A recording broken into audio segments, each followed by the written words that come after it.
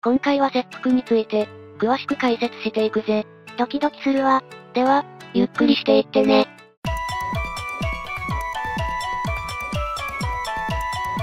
切腹って結構昔からあるイメージだわ。切腹は平安中期頃の988年、藤原の安助が事件を起こして逮捕された時に、自分の腹を切り裂き自殺を図り、翌日になって獄中で死亡したという記録が残っている。習慣としては末期頃から始まったと考えられているそうだ。平安時代から始まったのね。平家物語などの文献では、切腹自体は例が多いんだが、自決の方法は刀を口に加えて馬から飛び降りる、鎧を重ねてき、海に飛び込むなど一定しておらず、切腹が特に名誉な自殺方法と見られることもなかったんだ。武士への死刑執行も全て斬死刑で、身分ある武士といえども敵に捕獲されれば斬死刑か、監禁後に謀殺だった。切腹って名誉ある死に方のイメージが強いけど、昔はそんなことなかったのね。太平記によれば、鎌倉時代末期、森吉親王の家臣村上義光が主君の身代わりとなって切腹した後、自身の内臓を引きちぎって敵に投げつけ、立ちを口に加えて絶命するという壮絶な逸話が残ってる。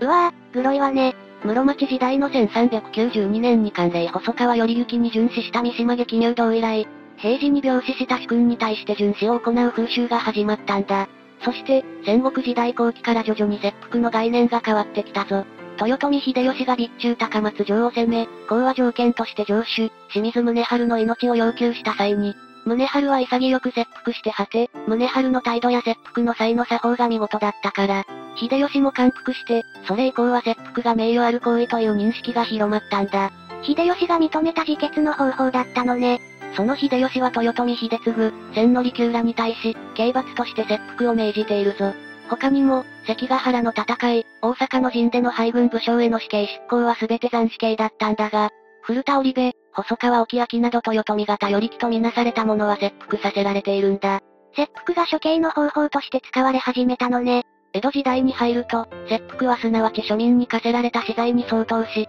武士に課せられた刑罰としても最も重いものになった。だが、武士といえど必ず切腹を命じられるわけではなく、不名誉な罪かとみなされた場合のみ死罪が適用された。不名誉な罪かってどんなものなのかしら？例えば島原藩主松倉勝家は、島原の乱の責任を問われ、諸大名への戒めとして死罪に処せられたとかだな。確かに不名誉な罪かと言われても仕方がないわね。初期には松平忠義や結城秀康に殉死した家臣の評判が高まり、殉死が有効したんだ。この有効は1663年5月に天下巡視護禁団の旨で、巡視が厳禁されるまで続いた。当初は同胞は有名無実化されたんだが、漢文8年、奥平正義が仙台征挙時に家中での巡視があったという理由で、2万石を削られる初段を受け、実行を持つことになったそうだ。法律で禁止されるほど有効したってことなのね。江戸時代を通じて切腹した者は追い腹といって、主君の死に続き、主君の家来が後を追って切腹するなどの自主的な切腹も含めたら、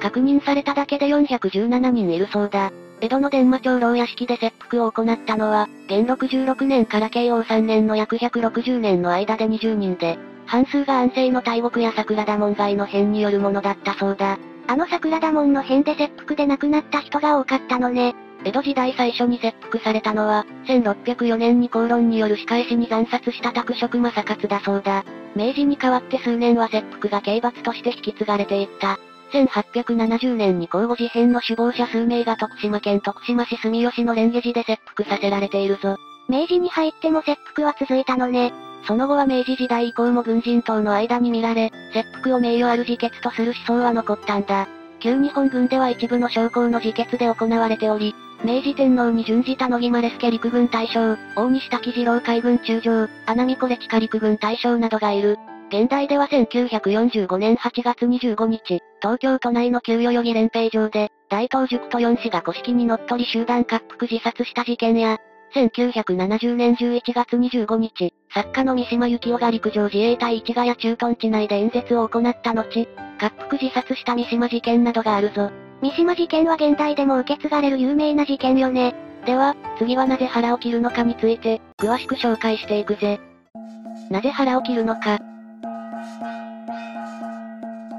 どうして切るのは腹なのかしら？切腹が習俗として定着した理由は、ニトベイナ像が武士道の中で指摘した、腹部には、人間の霊魂と愛情が宿っているという古代の解剖学的信仰から、郵送に腹を切ることが武士道を貫く死に様として、適切とされたと言われている。ニトベイナ像が切腹の概念を提唱したのね。切腹の動機は主君に準ずる追い腹、職務上の責任や義理を通すための詰め腹、無念のあまり行う無念腹、指導では喧嘩両成敗が一つの考え方としてあることから、復讐の手段として遺恨のある相手を名指しして、先に腹を切ることで相手にも腹を切らせる差し腹がある。切腹の動機によって呼び方が変わるのね。他にも、敗軍の生姜的型の捕虜となる地辱を避ける目的や、老上軍の生姜城兵や家族の除名と引き換えに切腹することもあるぞ。戦場における命令違反を行った者に対し、刑罰的な意味で切腹を命じる場合もあったそうだ。自害という意味だけじゃなくて、家族を守るために切腹する場合もあるのね。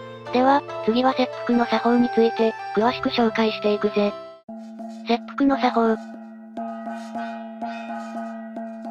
切腹の作法はどんな感じなのかしら？戦国時代や江戸時代初期は解釈人がつかなかったことで、腹を十文字に裂いたり、内臓を引きずり出したりといった過激な切腹の方法がされていたそうだ。やっぱりちゃんとした作法がないと、切腹も無法地帯とかしていたのね。近世に入って私分の刑罰としての切腹が確立すると、切腹に作法が登場したんだ。切腹する人を切腹人と呼んだそうだ。一方で、切腹人に付き添いその首を切り落としたり、剣士役に首を見せる切腹の補助を行う者を解釈人と呼ぶ。切腹人と解釈人が対等したから、切腹にきちんとした作法が生まれたのね。切腹の作法が制定された時期は18世紀の初めという説が有力だ。切腹の際の腹の切り方は腹を一文字に切る一文字腹や、一文字に切った後、縦に溝落ちからへその下まで切り下げる十文字腹が良い方法とされた。だが実際には体力的にそこまでは無理なことが多く、喉をついて絶命することも多かったそうだな。切腹をするにも体力がいるってことなのね。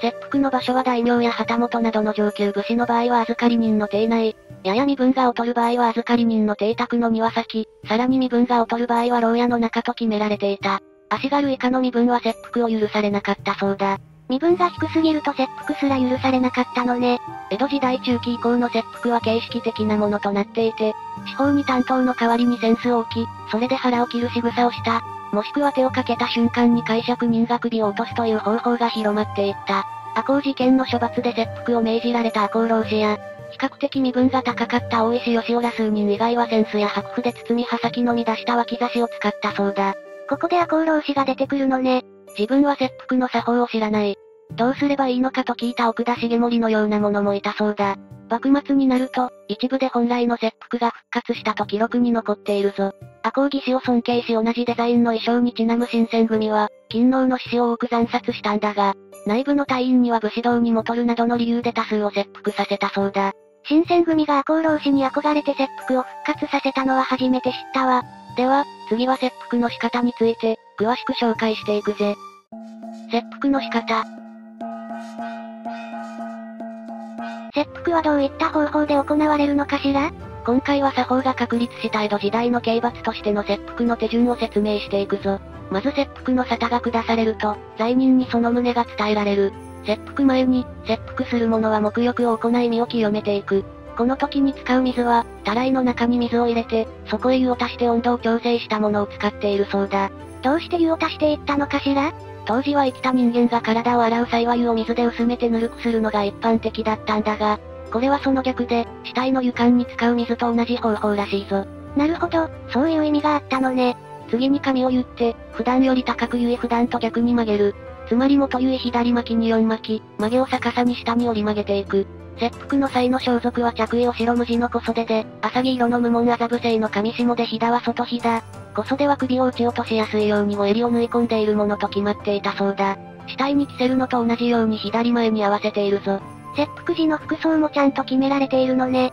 切腹の場所は上肺であれば6軒四方、中肺であれば2軒四方にもガリを言い、南北に口を開いておく。ちなみに南は修行門、北は涅槃門と呼ばれているそうだ。そこには逆さに返した畳2畳を主目に敷き、縦の畳に浅木色ないしは青色の布か布団尺4幅を敷く。その四隅に4点をつけ、畳の前に白絹を巻いた女竹を高さ8尺、横6尺の鳥居形に立て、四方に4幅の布を張っていく。後方には逆さに返した屏風を立てるんだ。切腹する場所は畳の上と屏風の前なのね。剣士役の座が切腹する者の座の対面に設けられ、切腹人は涅槃門から入り、畳の白絹の上に向かって座る。切腹する者の前には杯二組と湯漬けに香の物右れ、塩、味噌の魚、逆さ箸が添えられる。切腹人は、調子で、酒を左尺にて二度注がれ、二杯を四度で飲む。その後、配膳係は前を下げ、切腹に用いる担当を四方に乗せて差し出す。切腹人の最後の食事ってわけね。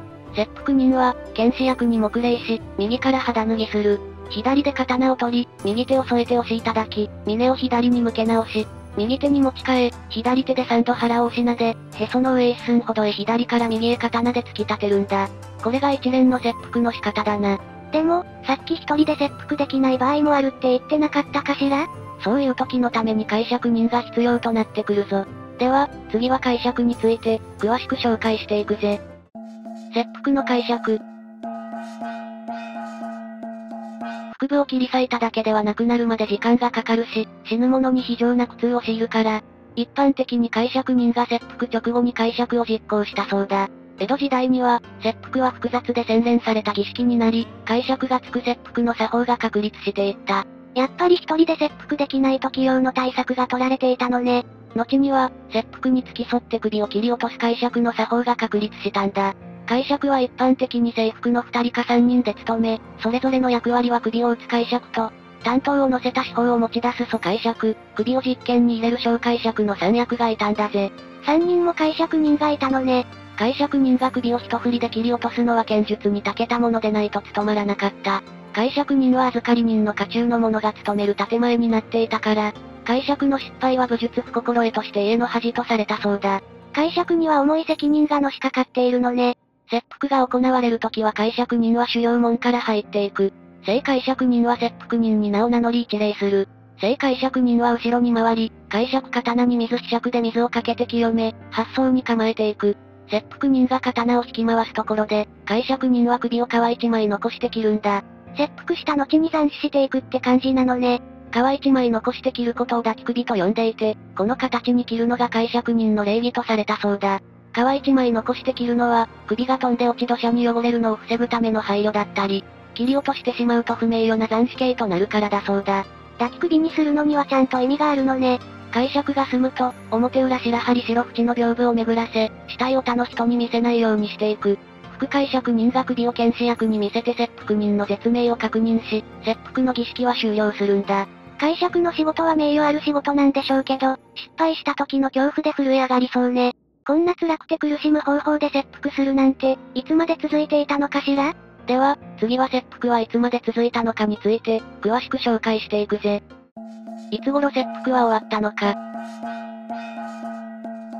切腹はいつ頃終わったのかしら？死刑執行方法としての切腹は、1873年6月13日に制定された改定律令で廃止された。以後日本の処刑は休刑法が施行するまで、処刑執行方法が教種、斬首、公死刑の3種類となったんだ。1882年に休刑法が施行された後は公死刑が用いられている。斬首刑は意外と長く残っていたのね。休刑法施行後の1886年12月に、青森の亭主殺し事件の加害者幼い住と、小野長之助の公開斬死刑が青森県の青森監獄前で行われた。それって違法なんじゃないの？この処刑は事実上の斬死刑の最後であり、関係による日本国内における一般刑法犯に対する最後の非合法の処刑となったんだ。そこまでして斬死刑にしたかったのかしらね。そして、先ほども紹介した通り、処刑ではなく自決の方法として切腹は続いていったんだ。記録に残っている限りでは、1970年1月25日に三島由紀夫が滑腹自殺した三島事件が最後と見られている。時代劇のドラマではよく見るけど、現代で切腹で自決している話題は聞かないわね。切腹で処刑や自決する方法は昔ながらの方法という印象が強いんだろうな。処刑の方法としてかつて有名だった切腹は、とある事件で大量に処刑されたんだ。では、次は堺事件について、詳しく紹介していくぜ。堺事件とは？堺事件ってどこかで聞いたことがあるわ。堺事件は慶応4年2月15日に泉国堺の堺港で起きた、土佐藩士によるフランス帝国水兵死傷事件のことだ。慶応4年2月15日午後3時頃にフランス海軍のコルベット艦デュプレクスは、終了後フランス副領事と臨時士官と日本艦隊司令官一行を迎えるべく堺港に入り、同時に港内の測量を行った。この間、士官以下数十名のフランス水兵が上陸し、市内を遊び回って近所から苦情が来たそうだ。束の間の休暇だったのに羽目を外しすぎたのね。6番隊警備隊長、美濃浦、8番隊警備隊長、西村らは、仏水兵に帰還を提示したんだが、言葉が通じなかったために土佐藩兵は仏水兵を捕獲しようとした。仏水兵側は土佐藩の大気を奪って逃げようとしたから、土佐藩兵側はとっさに発砲してしまった。大阪府堺市堺区堺橋町、大浜北町一帯で銃撃戦となり、土佐藩兵側が仏水兵を射殺したり、海に落として溺死させ、傷を負わせてしまった。うわぁ、最悪な事態になったわね。詳しい原因はそれぞれ食い違っていて、フランス側はいきなり銃撃を受けたと主張しているそうだ。土佐藩兵側と仏水兵側の主張が食い違っていたのね。土佐藩は警備隊長美濃浦と西村以下全員を吟味し、大使29名が発砲したことを認めた。朝廷の岩倉智美、三条実富らは、フランスの要求が無理難題が多くて、大使すべてを処罰すると世間から大批判を食らうことを懸念し、処罰される者の数を減らすように要求した医師全員を処罰せず隊長以下20人を処罰すると決めた。隊員全員が処罰されていたら、世間からとんでもないバッシングを食らいそうだものね。隊長の美濃浦、西村ら4名の指揮官は責任を取って死刑が決定し、残る大使16名を事件に関わった者として選ぶこととなった。2月23日に大阪府堺市堺区材木町東の妙国寺で、土佐藩士20人の刑の執行が行われたんだ。切腹の場で藩士たちは自らの蝶を掴み出し、居並ぶフランス水兵を大喝したらしい。立ち会っていたフランス軍艦長は、仏水兵被害者の数と同じ11人が切腹したところで、中止を要請して結果的に9人が除名されたんだぜ。さすがにフランスの軍艦長も地獄絵図過ぎてみるに耐えなかったみたいね。では、最後に切腹について言及した二人の人物について、詳しく紹介していくぜ。切腹の思想、武士道と大西滝次郎。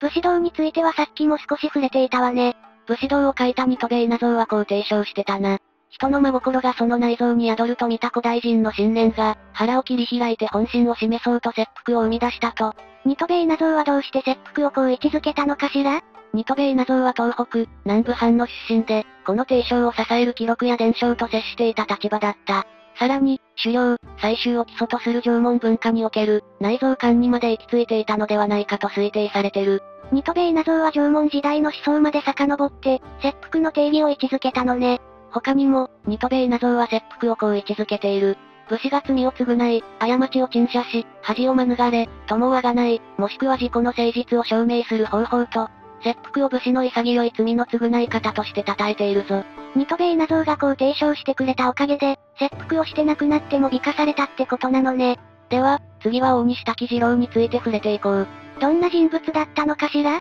大西滝次郎は最初の特攻を命じた人物で、特攻の海親と呼ばれているぞ。天皇が玉音放送を通じて国民に戦争終結を告げたのを見届けて、翌16日未明、渋谷南平台の感謝で滑腹し自決したんだ。やっぱり自国が負けたのが悔しかったんでしょうね。悔しかったというより責任を取った感じだな。特攻作戦を採用した責任者と言える将官たちや、前線でお前たちだけを死なせはしないと言いながら特攻を命じた指揮官たちの中で、責任を取って滑腹自決したのは大西滝次郎だけだった。特攻を生み出したせいで多くの人が亡くなったものね。出撃すれば必ず死ぬという特攻の苛烈な戦法で、戦後の国内外から強い批判を浴びたんだ。だから、大西は弁明を一切せず、死なせてしまった若者に詫びながら腹を切って自決していったんだ。特攻で亡くなった若者を弔い、陳謝するという意味で、滑腹自決して特攻を生み出した責任を取ったのね。この潔い精神や陳謝するという意味での自決は、ニトベイナ像の武士道と共通するものがあるよな。きっと大西滝次郎は武士道に共感して、何かあったら切腹の覚悟を決めていたのでしょうね。今回は切腹について詳しく紹介してきたけど、霊夢はどうだった？切腹が平安時代から行われていたのは知らなかったわ。切腹は平安時代から始まったが、江戸時代まで切腹は無法地帯と化していた。だが、切腹が処刑として適用される際に切腹を手伝う解釈人の存在が誕生したことで、切腹が処刑や自決の方法として認められるようになった。そして、法が制定されたことで、処刑としての切腹は明治時代には終わりを迎えたんだ。明治時代からは切腹は自決の方法として残ったのよね第二次世界大戦で戦況が危なくなった時や、上官としての責任を取る時にに切腹は用いられたな。切腹にもちゃんと作法や仕方があって、きちんと決められた作法に従っている点は、ニトベイナゾウが提唱した武士道の精神にのっとっているんだ。堺事件のような例外もあったわね。堺事件は土佐藩の兵士が仏水兵を誤解して、つい発砲してしまったことがきっかけで起きた事件だ。フランス側は土佐藩に責任を取らせるために、土佐藩側から20名もの処刑を命じた。この時の処刑方法が切腹だったわけだな。あまりに切腹の光景がグロかったことと、フランスの被害者数と同じ数を処刑して満足したことから、結果的に救命を除名したんだぜ。切腹は単なる自決の方法ではなくて、武士道精神に基づいた日本の潔い責任の取り方なのね。このチャンネルでは、他にも様々な動画を投稿していくから楽しみにしててほしいぜ。この動画を見て新しい情報や感想がある人は、ぜひコメント欄にコメントを書いてほしいわ。この動画が参考になったと思う人はぜひ、高評価といいねを押してほしいぜ。では、ご視聴ありがとうございました。